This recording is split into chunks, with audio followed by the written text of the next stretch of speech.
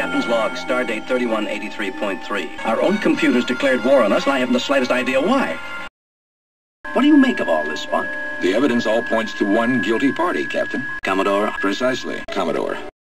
The computer is suffering the electronic equivalent of a nervous breakdown. You cannot change the laws of physics. Laws of physics. Laws of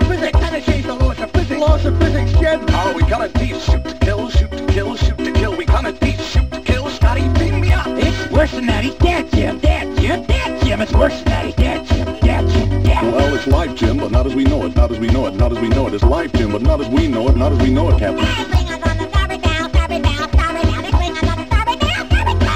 You cannot change the script, Jim. I'll see you, Jimmy. Worse than that is physics, Jim. Bridge to engine room.